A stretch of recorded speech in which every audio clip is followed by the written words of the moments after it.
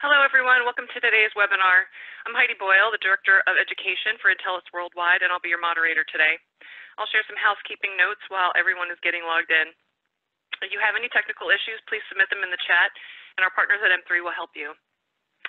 Intellus has many online, year-round resources accessible through our member resources tab at intellus.org, one of them being webinars like these. You can watch 20 plus videos from Intellus and nine BHBIA webinars on demand at a virtual learning center. We have saved time at the question at the end for questions, and you can submit them as they arise in the Q&A se section of the control panel. We do have a lot of people that are going to be on today's webinar, so we will try to get through all of those questions, and if we can't, we will be sending out a full report afterward to participants with all the questions, as well as the recording and these slides. Many of you have seen the statement that we released on Wednesday, March 25th, referencing data that shows healthcare providers across specialty still want to participate in market research. Some of this data came from an ongoing study conducted by M3 Global Research. Since that statement was released, the response rate has gone, grown dramatically. Allow me to introduce our speakers who will share insights from that data collected from over 31,000 healthcare providers across the world, including USA, Canada, Europe, and Asia. They will go through the latest findings and explain what you need to know to move your research practice forward. Anton Richter is the CEO of M3 Global Research. He's an industry veteran with over 20 years of healthcare market research experience. He is passionate about driving initiatives to raise standards in the industry with a strong focus on quality at every touch point. He is an avid cricket fan and is currently self-isolating in London along with his wife Letitia, his son Alexander, his leopard gecko Caesar, and two new kittens, Pumpkin and Pie. He apologizes in, any, in advance for any disruptions they may be causing. Hannah Brown is the research report author and has held numerous positions across M3 divisions centered around community insights. She is the driving force behind the thought leadership initiatives at M3 and is the proud mother of six-year-old twin girls. She is surviving lockdown by hiding in her garden office, making excessive use of her Peloton bike, and finding elaborate ways to block YouTube on all devices. I'd like to thank them for their leadership on this initiative so that we can share this important data with you. Anton, if you're ready, please take it away. Many thanks for, for that kind introduction, um, Heidi. Much appreciated. Um, and a warm welcome uh, to everyone to this Intellus webinar on market research feasibility during the COVID-19 pandemic. The key interest in this area is very self-evident in the huge number of registrations we've received for this event. Uh, it's close to 800 now. Um, so let's hope the technology holds up over the next 30 minutes or so. I'm sure it will. Um, but irrespective, there will of course be a recording available afterwards on both the Intellus and M3 websites. Um, the format of this webinar will be quite straightforward. Uh, Hannah and I will be talking you through some primary research for about 20 minutes or so, um, and then we'll have a Q&A at the end. Um, as Heidi mentioned, you should be able to ask questions through the webinar software, but if you have any issues, I'm sure she won't mind a direct email. And then whatever we can't answer directly today, uh, we will of course do our best to follow up via email afterwards. Before we begin though, I think it's only appropriate that we acknowledge the incredible job healthcare workers are doing across the globe. And their professionalism and dedication in such adversity is truly inspirational. Our thoughts and prayers go out to all who are affected, and we all hope for better days, I know. It's fair to say there is a huge amount of concern in the healthcare market research vertical at the moment as to how our industry will react to this developing crisis. Will pharma delay, cancel, or postpone research? Will healthcare professionals themselves be able to participate? And most importantly, is it even appropriate that we are still contacting them at this time? So against this backdrop of very valid concern, as the largest provider of global healthcare fieldwork, uh, we felt it important to give our community a voice and let our doctors guide us into how we should be operating in this new environment. So leading then with a, a data-driven approach, uh, we can assure that we do no harm and at the same time answer the very important questions needed for our industry. It's worth flagging at this point the strong coordination and unity we are seeing across associations, from Intellus to the BHBIA and EphMRA, and how all the membership companies have all fed into these events in an effort to provide an informative, consolidated, and unified approach during unprecedented times. As such, we've conducted some internal primary market research with a short, non-intrusive five minute online survey. And we're very pleased to say we've had an overwhelming response with over 31,000 healthcare professionals wanting their individual voices on this matter to be heard. As you can see, we have strong geographical distribution across a number of key markets, which include a broad spectrum of specialties who were all randomly sampled. And I think the only thing to add as well is um, at the bottom of the flags, you've got the other, which is just over 6,000 respondents. That sample um, is made up of just over 1,300 in Latin America, um, just under 2,000 in Australia and New Zealand, and then um, also uh, Russia, Central Europe, and the Nordics. And our severe thanks, of course, to um, our partner networks for including their sample with this.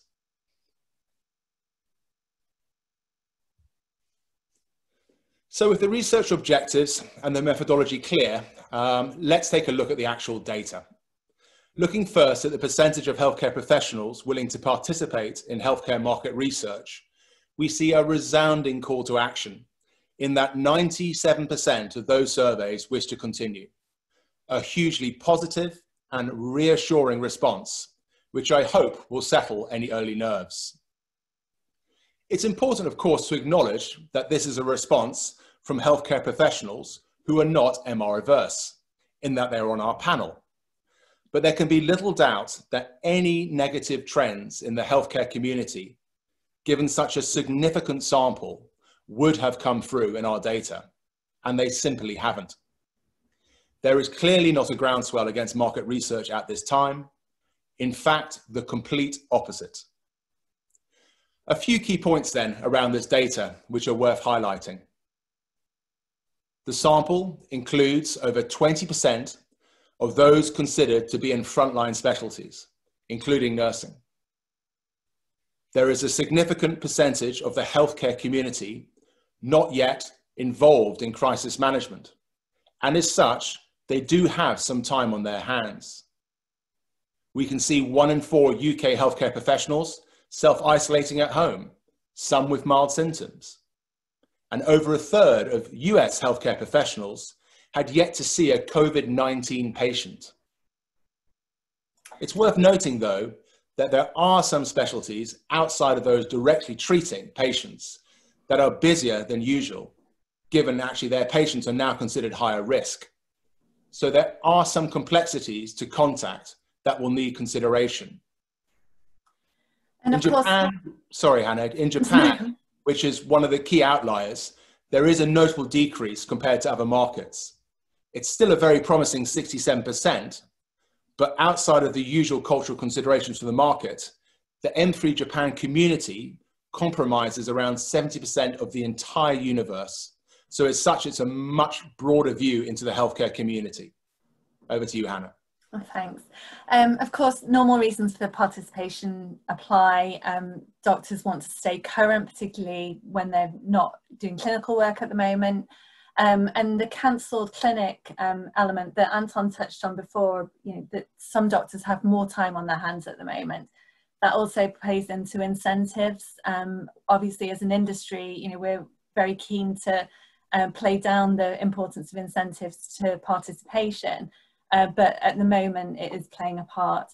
And the other side of it is that we, we do have a um, social and moral obligation at the moment. There's been lots of talk about ethics of market research, but there's a social and moral obligation to continue research and development into non-COVID um, areas. The same um, treatments and developments that were being considered a couple of months ago will still continue to be relevant and important in a post-COVID world. Thank you, Hannah. So taking a look now at specific methodologies, we will first look at online. Um, here, unsurprisingly, given both the previous slides data and of course the sample community, uh, the response rate was emphatic. Yeah, 96% willing to participate. Looking at frontline specialties alone, it was 96.4% approval, and for nurses, 98.6. So very strong. There wasn't too much market variation, as you can see. Japan was the only real outlier, but at 63%, yeah, it's still a strong majority given the universe approach to sampling I've explained. As a general comment, we have seen remarkably little impact on response rates, which is a very positive sign. They are robustly stable. We even saw a surge in mid-March across Italy in certain therapy areas, which were up by 26%. There are, though, peaks and troughs to response rates, and last week saw some decline in a few EU markets, which we've highlighted here in the slides. But I think it's important to point out that all these peaks and troughs are within typical parameters for these swings, which we see on a monthly and weekly basis. Hannah. Uh, the other benefit, of course, of online surveys and this methodology in particular is that this is the one that fits into their schedule the easiest. Um, you know, especially with um, increased digitization of um, invitations, of emails, of dashboards with surveys that are available to them. This is research on demand. So one of the messages that came through in this research was that you know, let us manage our inboxes, let us manage our time. If we're not at work, then we have time available to do this. And this is the most flexible, the, mo the easiest way that, to fit into their schedule. Um, and that's particularly important. Thanks. So moving on to now phone methodologies, uh, it's important to preface these results with a key statistic that 30% of the panel typically participates in qual research as a personal preference. As such, when you review these results with an average close to 50% for willingness to participate via telephone, this is a clear statement of intent and a willingness to engage. As always, cultural differences are reflected in participation rates with qual even in normal times. So some of the lower rates which we can see here are to be expected in some of the Asian markets. Of course, phone is a more sensitive and personal method of contact compared to email, and thus it will be considered by some to be more contentious in this current climate. But the data makes it very clear that healthcare professionals are happy to participate with this methodology. And we will run through some very practical tips in this regard later in the presentation. I think that, I mean, we've called out there on the right hand side, um, just under 15,000 of respondents are happy to do TDIs at the moment. So clearly demonstrates that this is a methodology open for business. Um, and yeah, as Anton said, in the practical applications, we'll discuss some of the, um, some of the ways that we can leverage this. So taking a look now at what lengths of interview for healthcare professionals will be found appropriate at the current time. The trends in the main reflected engagement with qual and phone overall. Uh, so we are seeing lower lengths for Asian markets, reflecting less personal appetite for phone, and those are in line with some of the cultural preferences which we do see. Mm. The US, though, um, and EU markets are much more willing uh, to participate at longer interview lengths, uh, with 78% in the US willing to do longer than 30 minutes, and most of Europe in the 60 and 70% for the same length. I mean, I think, Hannah, you had one statistic come through where someone said as long as they take, didn't they? Yeah, 12 hours. A little bit excessive. and the other thing as well to remember is that when you look at the, um, the slide here with the participation, there's the dips in China, India, and Korea particularly, and you see those um, mimicked in the LOI data. So, you know, when willingness is lower, that has an implication on the LOI as well. So you should be looking to curtail the length of the interview when you know the appetite for the methodology is lower. Thanks, Hannah. So then finishing up with face-to-face -face research, um, this is of course the most impacted of, of methodologies with social distancing and local government restrictions firmly in place. That said, 29% stated willingness to participate, which given this methodology has a much lower prevalence preference than let's say online quant or phone TDIs, this is still quite a positive data set. As we have seen though with telephone-based research, Asian markets' willingness is generally lower than those of Western countries, with Germany leading the way at 40%.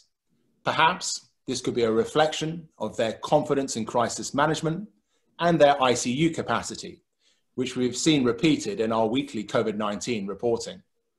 Restrictions on in-person though, which do look like they will be with us in the short term, allow us the opportunity to pivot and explore creative online qual technologies outside of simply replicating existing research with remote qual.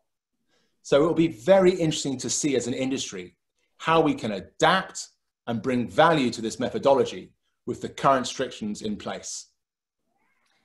I think it's important to note as well that as we pivot to these remote methodologies, um, we need to make sure that we make use of the full suite of tools. Um, so thinking about minimizing phone contact, being as flexible as possible with scheduling, and really um, leveraging those online tools. So online scheduling and screeners, you know, we talked with the online methodology about it being on demand and easily accessible that HCPs can complete at their convenience. The same applies for lots of elements of these remote methodologies. So what's next? Let's take a look then at some practical advice on how we can keep our businesses moving forward without putting unnecessary and inappropriate pressure on our healthcare workforce at a very difficult time. As we have seen, willingness to participate does not necessarily mean that it's appropriate.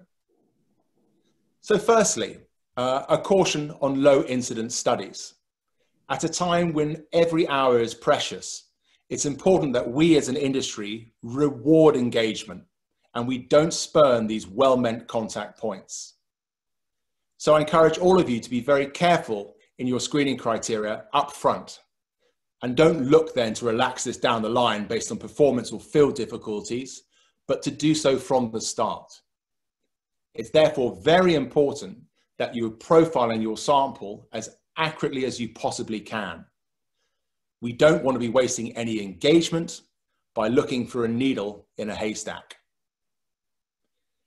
And let's embrace technology and get creative in how we can deploy it so that we're adapting and innovating to keep driving delivery forward. When we look at qual methodologies, there are a lot of very practical steps that can be taken to be more time efficient and to keep contact away from the phone until the actual interview. So for example, programming all screeners online, ensuring that the scheduling is completed online, and then looking at push notifications for confirmations, etc there's a whole host of things which we can do to take pressure from the phone and keep it just for the interview. Consider therefore what methodology is most appropriate for the therapy area you are trying to research based off the known pandemic impact. It's worth considering here the impact on, for example, patient records. If online access to these charts is going to be limited for certain doctors, how can we pivot and adapt and still deliver the insight required? This area will certainly need more thought, that's for sure. Generally speaking, online is the safest and least obtrusive data collection methodology. But phone or video-based methodologies are perfectly fine if targeted correctly and deployed sensitively. We should, though, as Hannah has mentioned previously, look to limit length where possible and make sure we focus necessary questions. And while online may be generally safe, that doesn't mean we should not be extremely careful and considerate in our contact. Our recommendation here is to have a daily digest to eligible respondents, thus concentrating all available survey invites into a single email and thus allowing them the choice of survey rather than multiple invites. A key recommendation is to try and stay away from any cold calling, especially through hospital switchboards, which we know is critical, unless, of course, they are certain they have not been impacted. Phone-based contact, in our view, should in the main be with respondents who there is a proven relationship with. And this is, in our view, the safest way to ensure we do no harm. As a practical step, for list match studies, rather than custom recruitment to complete required samples, why not seek out other providers and thus avoid cold calling? With partnership, delivery can still be maintained and sensitivity ensured. Um, so it's a good time for all of us to be working together on solutions. And there's a last point then on some practical applications here.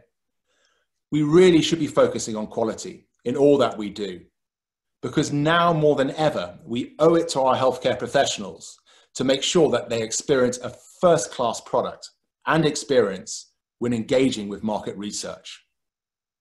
So from well-designed questionnaires to thoroughly well-checked surveys, let's keep quality top of mind and avoid any unnecessary recontacts or technical issues. As a final point here, we need to work heavily on considerate language to ensure that we have transparent appreciation for their engagement and of course ensure that no pressure or obligation is felt or conveyed in our invites. So moving on then, conclusions.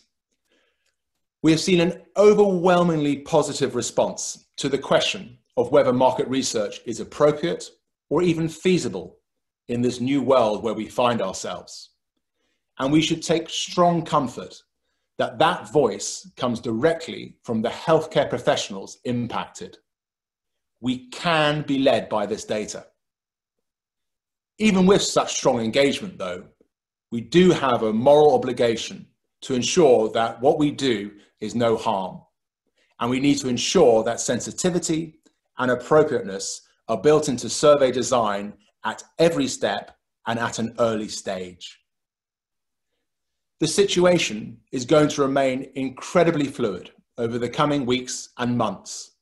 And as such, forward planning and close engagement with your fieldwork partner will ensure that as feasibility does change, you have the latest information so that informed decisions can be made, and of course, that much needed research can still be delivered.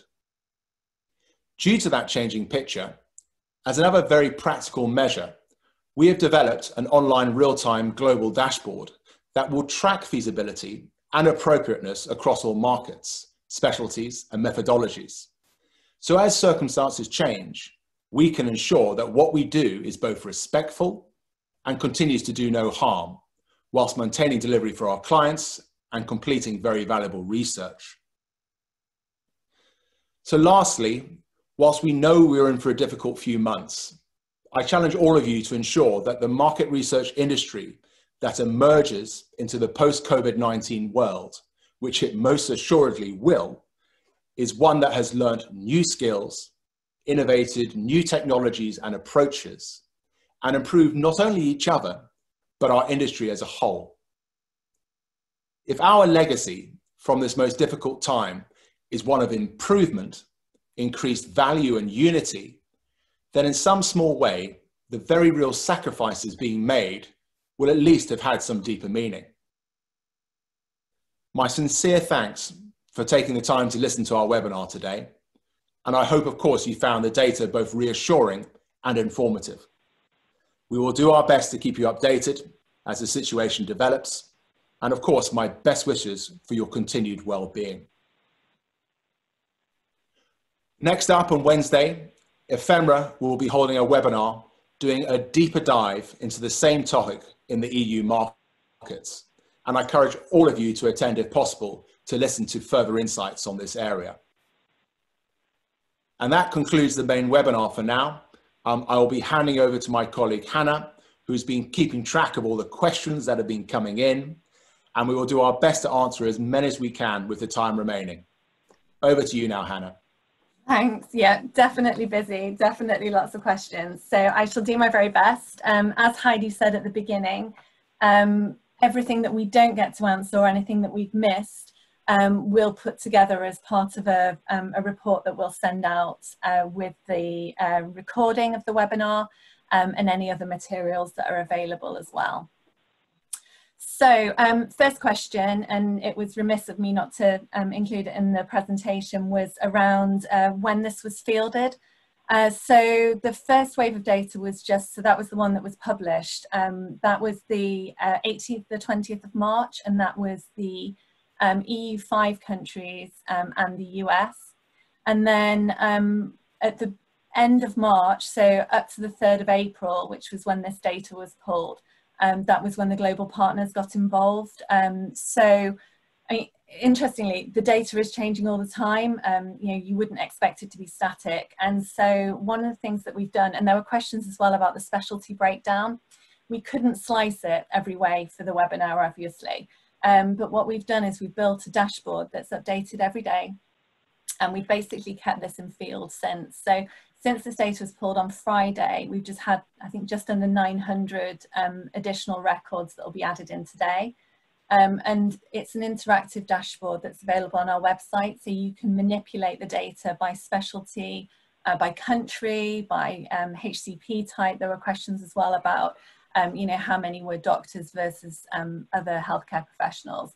So that's um, available for you now. You can manipulate that. So if you have questions about particular segments of markets, that's the best thing to use. It's in the resources section under COVID-19 on the M3 website. Um, the other question on the methodology was whether um, it was the willingness to participate questions, whether they were just yes, no, or whether they were scaled. They were all yes, no, um, so very linear um, in terms of the responses. Um, question on uh, tracking data on response metrics. Um, so a question asked whether there been, been any change in responses to surveys from before COVID to now? Um, yes, there has, but um, actually it's an increase. So we looked at November to November 2019 to February 2020, um, and then compared that with March 2020. And uh, response rates, email open rates, and click-through rates were all up um, slightly, but up across the board.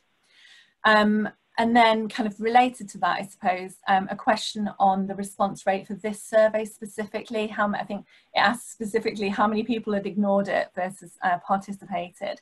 So um, the response rate for this one was 20.4%. Uh, it ranged from 16% um, in some markets to 27%. So really good response rate, especially for something that had no incentive. Um, question on um, self-selection of the um, of the sample in terms of um, it relating to the willingness to participate.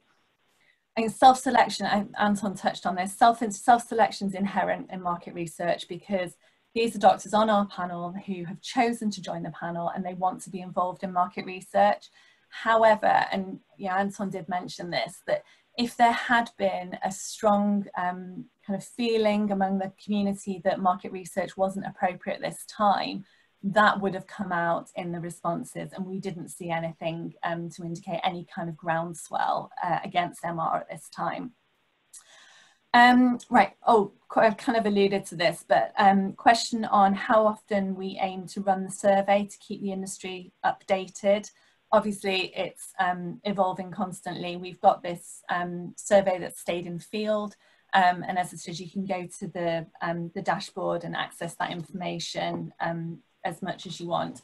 The uh, last updated date always appears on, on the graphs that it exports, so you can see those on there. what we did with this one, because it was a random sample selection, as Anton alluded to, um, that was important to us to ensure that there wasn't any fatigue, but also um, to give us longevity in terms of wanting to keep it going. Um, it's important to us that we keep a really close eye on what's going on at the moment. Um, and so, you know, when we're talking to our clients um, and the information that you can then pass on to um, to your uh, your clients in turn is always as up to date and relevant as possible. Um, oh, this one's used an interesting one. Um, so we're getting pressure from local corporate headquarters that we should not be doing market research in their country. How would you respond to that? Um, I think our advice would be that you can only equip them with data. Um, data is important to our industry and it was um, obviously important for us to be data driven in our response to this, um, along with reassurance that any approaches will be proportionate and they'll be sensitive. Um, yeah, Anton talked a lot about that throughout the practical applications section. We know that end clients are obviously concerned about their corporate reputation and any um, any comeback that, that might happen there, and it's obviously entirely understandable. But everything that we are advocating should reassure them that this is a socially responsible approach and again, it's data driven, um, it's based on evidence. Um, and I think one of the most interesting questions is what does the future of market research look like?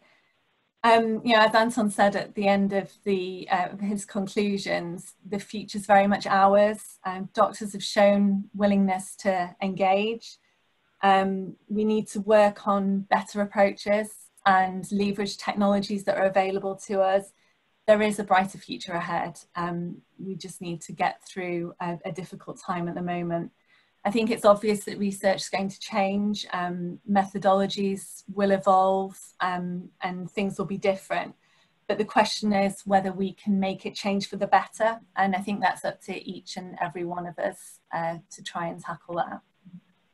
So that kind of, I've don't think there's anything else that I can get to at the moment without sitting here and reading everything and, and going through. Um, question on what are the results for specialty? Um, again, it's in the dashboard and we've covered that. I think the best thing probably with the rest of them is to go through them and um, we'll come back and answer them in a, a, a Q&A type document, if that's okay with you, Heidi? Yes, absolutely. Great. Everyone. Um, we will be sending out those additional um, questions once we have the webinar recording posted on the Intellus and the M3 website, so we'll be sending out that via email. Um, I also want to note that we are continuing to collect data from various sources throughout the global community uh, from both the provider, partner, and the patient perspective, and we'll be sending out ongoing releases as the situation unfolds and the information comes in. We're working on another one right now, and that will be sent out this week. Um, if you're interested in getting more involved um, with Intellus by joining a committee, presenting a webinar, or if you just want to give us feedback on information or needed resources, um, you can connect with me at heidi at intellus.org. We are here for you. Thank you for your time, and I hope everyone is safe out there.